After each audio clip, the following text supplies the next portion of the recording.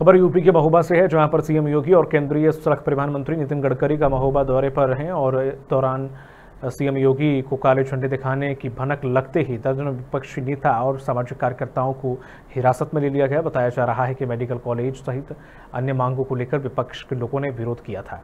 वहीं एलआईयू की सूचना पर जिला प्रशासन सक्रिय हो गया। प्रशासन की सख्ती से सपा कार्यकर्ताओं में आक्रोश है।